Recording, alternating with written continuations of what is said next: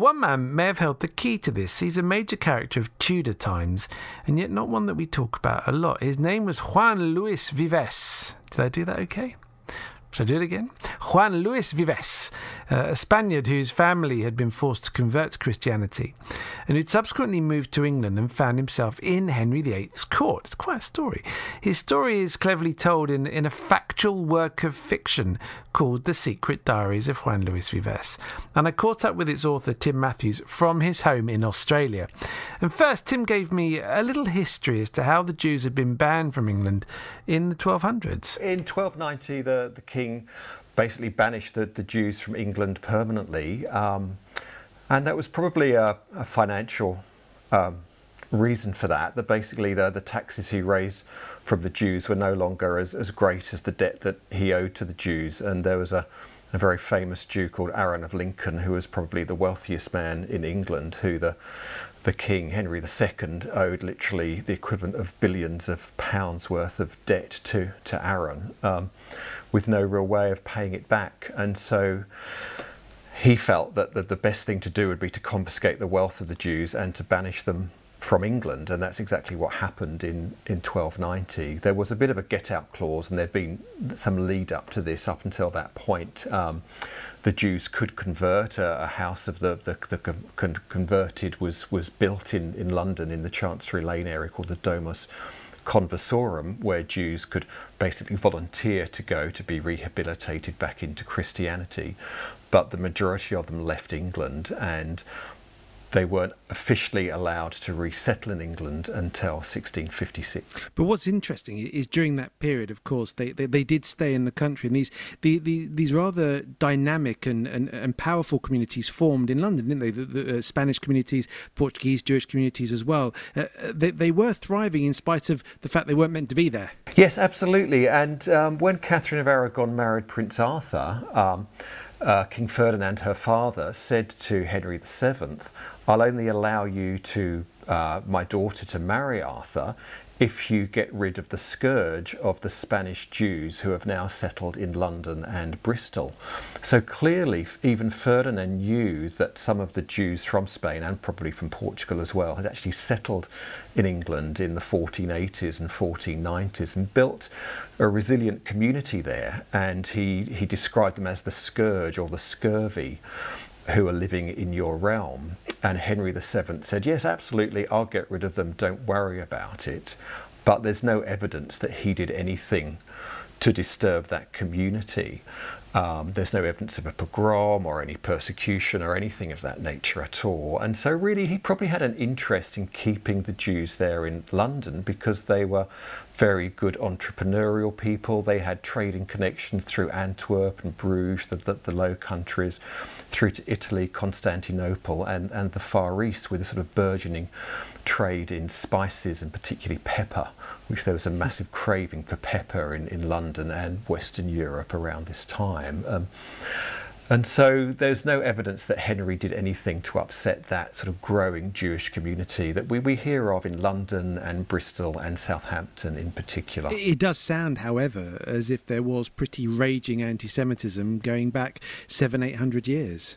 Yeah, ab- ab- absolutely. And, and, and, and amongst the people, that there, there was this sense of um, fear of the Jews and of the blood libel and that sort of propaganda of the Jews having done terrible things to Christian children um, and those myths and legends sort of growing through that period. So I, I feel that, that, that, that, the English people, generally there, there was a, a sense of anti-Semitism um, that probably hadn't gone away um, from from the 13th century. And this wasn't, of course, just in this country. If we look at the family of uh, Juan Vives, um, they were massively persecuted. They were. That that all they, they came from Valencia. Um, Vives was born in 1492, which was the year that the decree of Alhambra was passed, which banned Jews from Spain.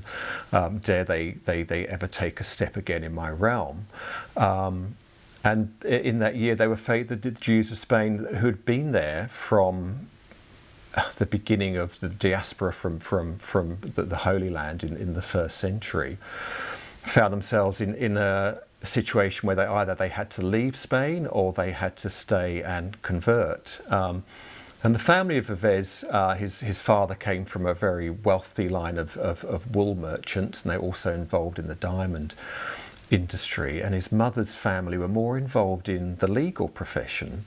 Um, they made that decision that they would make the outward appearance of converting to Christianity. However, um, it doesn't look like they did a very convincing job of that. Vives's maternal aunt um, was found running a clandestine synagogue in her house in the 1490s. Both her and his first cousin were burnt at the stake, and this is something that he would have seen as a young as a young uh, child. And uh, I think when he was seven, his father was arrested by the Inquisition. Um, and his mother again was accused of, of visiting a clandestine synagogue. So there's a sense there that, um, that, that, his family were, hanging on in, in that hope that perhaps wealthy and influential Jews like the Abravanel family would, would be able to persuade the, the monarchs um, to overturn the decree of Alhambra. And it's thought that um, Isaac Abravanel offered Ferdinand and Isabella a huge sum of money, the equivalent again of billions of, of euros, I guess you'd say in today's terms, to overturn the decree of Alhambra. And, and the thinking is that Ferdinand almost said yes, um, but was persuaded against it by the, the, the Grand Inquisitor um, Torquemada. So it was amongst this, in, in this sort of background that, that Juan Luis Vives was brought up from a very intellectual family and uh, a family of, of, of well-established Jew, Jewish people who'd been living in Spain, you know, probably for over a thousand years. And so that decision to outwardly adopt Christianity um, was not an easy thing for them. And, um, you know, perhaps in retrospect, they would have perhaps made that decision to leave Spain. Many of the Jews went to Portugal because the, the Jews weren't banned from Portugal until a little bit later. But Juan Luis Vives, who, who had a very good education and there was still money in the family, left at the age of 17 and went to Paris. He studied at the Sorbonne and he never went back to Spain. And of course, this, this has massive echoes with, with what happened, you know, four, five hundred years later. This notion that yeah. it doesn't matter if you convert, ultimately you're still Jewish. And, and we saw that happen um, in, in 1940s Germany, Austria, and Poland, didn't we? Absolutely. And, and there's this concept of the limpieza limpieza de sangre, which is the, the impurity of the blood. Um, and people who possibly had converted, you know, a hundred years previously, they were still tarnished with this limpieza de sangre, the, the impurity of the blood. They weren't considered genuine old Christians, and, and they were considered conversos or marranos, which basically means the, the, the, the pigs. Um, and so there were this sort of, you know, this, this, this class of people that were forever in, in, in fear of persecution. It's just fascinating to, to, to see how far back and how deep rooted this is in, in our in our local, by that I mean European history. Uh, Vives himself, the, the, sense I get from reading your novel yeah. and, and from having researched him is that he was what we would call today a networker. Do you think that's a fair term to use? Yes, I do. I think he was uh, incredibly. Um, clever in, in flattering the right people at the right time in order to gain influence in, in the right circles. So he had direct lines of correspondence with the Pope, with the Holy Roman Emperor, with um, the King and Queen of Spain, with Henry VIII, with Cardinal Wolsey, with Erasmus of Rotterdam. How did he establish these links? I think he had chutzpah. You know, I think he went straight up to them and he said, "This is who I am." he didn't say, "I am a, a Jew" or, or, or, a yeah. or a, a pseudo Jew, um, but but he said, "Look, I, I." He had no problem in saying, "I am a brilliant man and I am a great man, and, and you will do well by." Um, patronizing me with um, and I dedicate a book to you, and then basically give me some sort of royal privilege, um, and it can be a, a, a sort of um, symbiotic relationship. So he, he had no problem going up to people and approaching people. Let's bring him into the, the court of Henry VIII, and I think it's fair to say, isn't it, Tim, that Vives definitely played a role in in bringing Jews back into, well, shall we say, the mainstream. Yes, he did. Um, and uh, as we said, he, he wasn't afraid to approach the king or, or the queen. And in fact, to tell Henry what he thought of him. He warned him against arrogance. The King of France had recently been imprisoned temporarily by the Holy Roman Emperor, and he said to Henry, "Look, you know this this this can happen to you."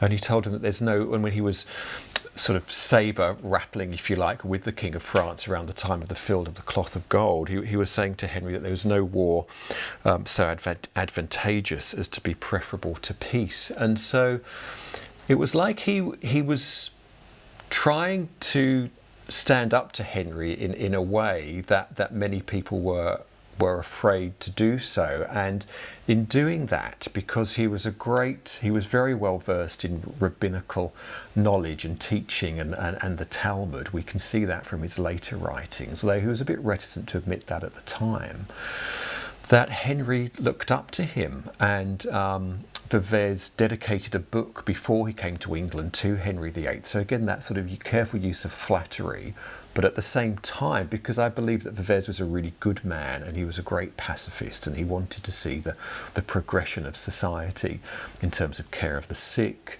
education of the women. He was playing a very dangerous game, wasn't he, with, with Henry? Because he, he was right in the middle of Henry VIII and Catherine of Aragon. He was almost the, well, not the, the, the mediator, but he was trying to take both sides. And of course, um, whichever side he ended up on was going to have a major impact on not only his own future, but, but possibly the future of his family and, and indeed the future of Jewish people in the country. That was what was at stake, wasn't it? Uh, absolutely. And, um, well, Henry allowed Jews to live in his court. There were there were Jewish musicians and um, uh, Dona Gracia Mendes, um, who was a, a, Portuguese Jewish lady with great wealth from the, from the Mendes spice trade, visited London and stayed with um, uh, and, and, had contact with Henry for quite a number of, of months.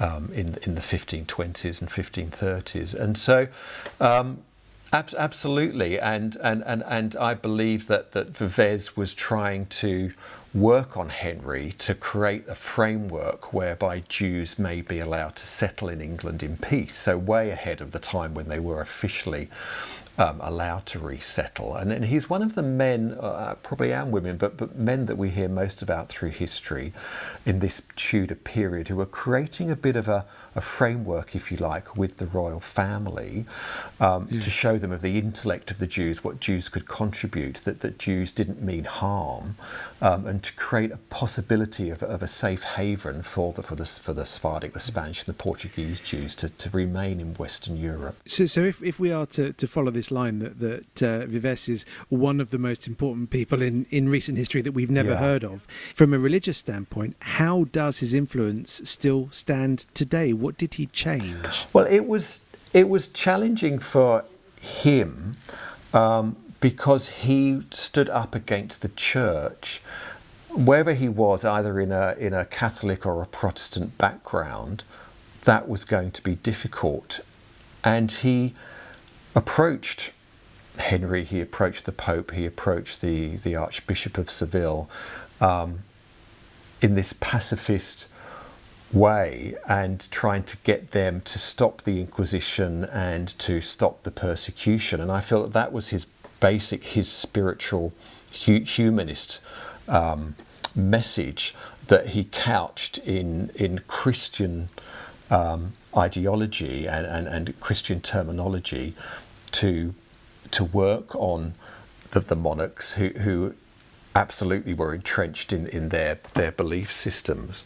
So he, he was trying to trying to, to mould what he was saying in, in order to change their their beliefs and to stop the, the Inquisition. Yeah. He, he wrote to the Pope and he said, The two things I require of you, which I think is fabulous to, to write to the Pope and tell the Pope, two things I require of you. couple of couple yeah, of matters. that's right. and one thing is that the, the, the, silence of arms amongst the princes, and the other thing is the silence of sedition and gossip amongst the people. I require you to do that. Do, do you think I owe him a debt as a as a as a British Jew? I, I think he's one of the people that have been forgotten that created the foundation work for the readmission of Jews later on.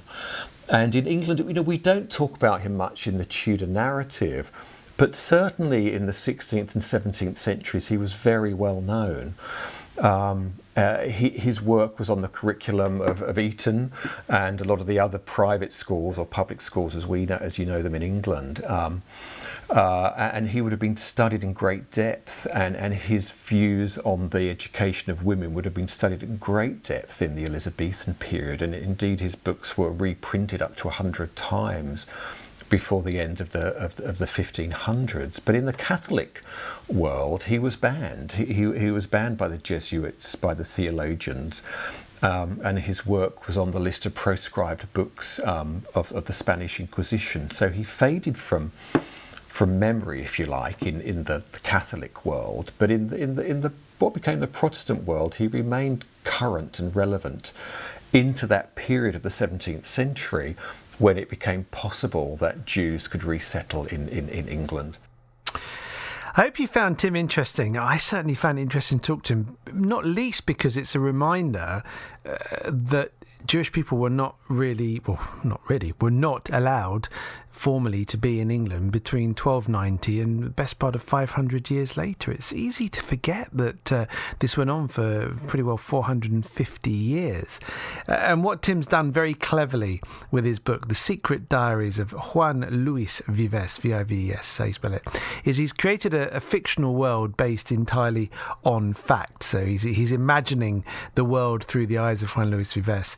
Uh, and he, he tells the story of, of, of the horrors of being a Jew in, in the 16th century, and also um, the, the, trauma of trying to escape the persecution that came alongside uh, being a Jew in that period. And I think it's a clever way of doing it. It's a really really good read.